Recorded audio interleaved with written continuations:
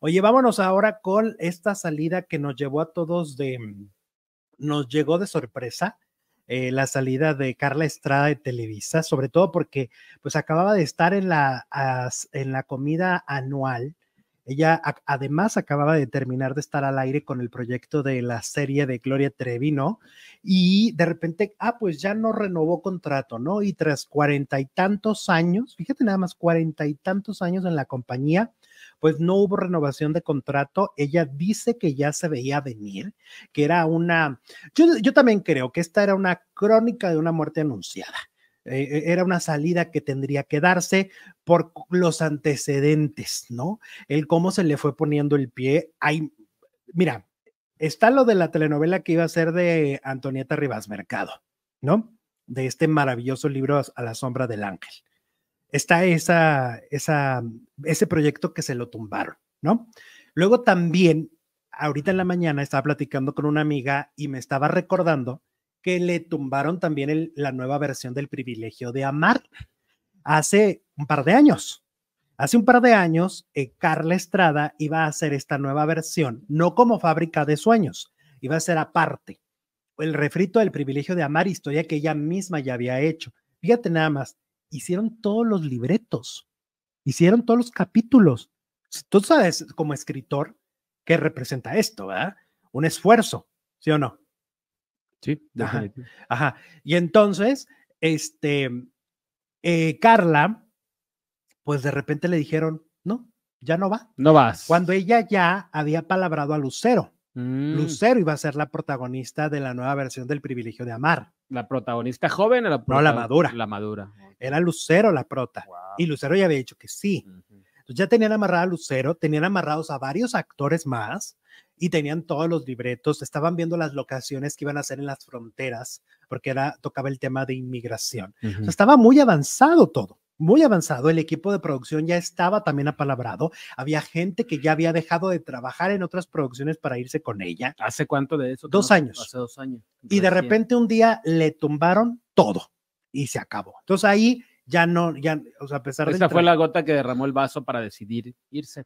No creo, porque luego viene ella, soy yo pero, pero esta fue parte. O sea, fueron muchas cosas. Pero cómo le debe haber dolido. Acuérdate también. Imagínate volver con Lucero. Que nosotros lo comentábamos aquí en el, eh, lo comentamos en su momento. Ella presenta la serie de, de Silvia Pinal. Tiene a doña Silvia y Tati y a todas las, las demás Silvias. Este, hace una super presentación en la mañana y literal Jesús, en la tarde, 6, 7 de la tarde, sale el comunicado diciendo Televisa pospone la serie de Silvia Pinal. Ese mismo día que había presentado, era como una burla. Yo siento que le hicieron cosas que pueden ser consideradas como una burla. Eh, yo he preguntado, porque pues tengo la fortuna de tener amigos dentro de Televisa y sí les he preguntado, ¿por qué? ¿Qué pasó? O sea, ¿qué hizo Carla Estrada? A mí, a ciencia cierta, nunca me han sabido decir una cosa específica. Por lo tanto, parece que nunca hizo algo tan grave como a lo mejor otros productores que salieron por otras razones, como por ejemplo en el caso de, de, de, bueno, de algunos que salen por cuestiones económicas, etcétera.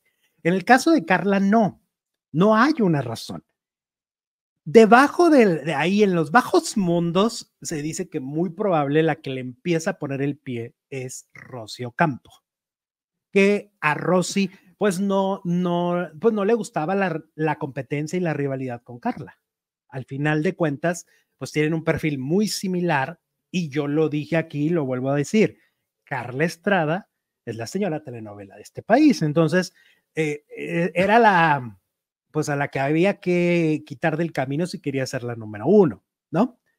Todo parece indicar que por ahí puede venir al principio.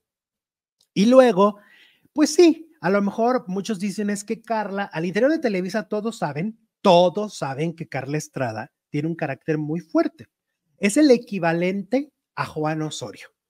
O sea, es gritona, es regañona, es canija, es este, sí, es una mujer muy disciplinada y lo cual implica que les exige muchísimo, más allá de lo de lo que a veces debería de ser, ¿sí me entiendes? O sea, sí, a veces pasa del lado, o sea, se vuelve algo ya sobre ya una cosa que dices, esto ya es demasiado.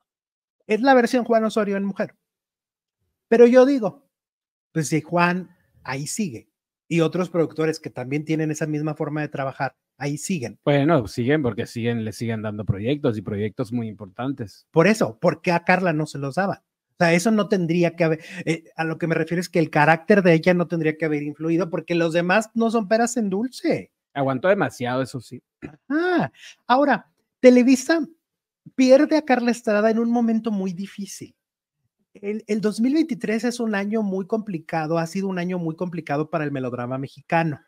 Eh, mucha repetición de historias ya muy contadas, eh, muchos fracasos, muchos intentos y pues perdón si nos están oyendo en Televisa, pero la caballada en general de productores, a excepción de, de dos o tres, hay, hay productores que desde mi punto de vista son, pero, pero ni el 5% de lo que ha sido la carrera de Carla. Y tengo nombres. Este, Nacho Sada, ¿no? Este, Pedro Ortiz de Pinedo. Eh, ¿quién, más, ¿Quién más está? Patricio Wills. Patricio Will te vuelven a dar una producción cuando hundió a Televisa hace cinco años, cuando hizo telenovelas horribles, porque llegaron muy pretenciosos a decir que nos iban a enseñar a los mexicanos a hacer melodrama. Y es como si a Herdes le vas a enseñar a hacer chiles, ¿no? Y entonces ahora le vuelven a dar Juana la, la Virgen. Y a Carla Estrada no le puedes dar una telenovela cuando ella pues hizo que los noventas fueran los más exitosos para Televisa. Son cosas que uno no, que, uno no comprende, ¿no? Porque estos productores, Chava Mejía, Chava Mejía, sus mejores años, perdón, creo que ya pasaron. A nivel creativo, ya no hay para dónde. A mí me estaban diciendo que la que está preparando, la que está haciendo ahorita, hijo de su, va a ser una cosa muy fea. La que ya la están grabando. No está bien la historia. Y Carla Estrada entonces sí le hace falta a Televisa. Eh, anoche, bueno, primero le agarró el temblor. En Televisa fue Gloria Trevi, fue René Strickler, fueron varios a despedirla a Televisa. Y en eso tembló, ¿no? Ya ves que ayer tembló en CDMX. Sí. Y entonces en la noche la vuelven a agarrar la prensa, la vuelve a agarrar un evento y en, esa, en ese evento ella confirma que hay una auditoría, efectivamente, porque cuando pues entra alguien como un productor, le dan cosas, desde todo, desde el inmobiliario, etcétera, ¿no? Y entonces ahora que ella sale, pues tendrá que rendir cuentas de que todo está en orden. Y lo que ella confirma es que en ellas soy yo, la bioserie de Gloria, pues se ahorraron muchos millones gracias a su buena administración. O sea, la serie salió mucho más barata de lo que pudo haber salido porque ella buscó ahorrar. Y entonces dice que ella va a entregar números muy positivos a, la empresa y está totalmente, dice, ni me deben, ni les debo. Ok.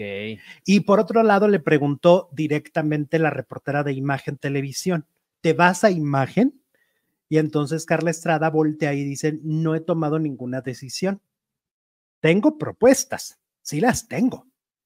Eh, porque la gente empezó a confundirse y a pensar que iba a un cargo ejecutivo dentro de Televisa. No es así. Ella lo único que dijo es que las puertas están abiertas para eh, volver por proyecto. Mm, o sea, si en un año Televisa le dice, vente a producir la serie de Yuri.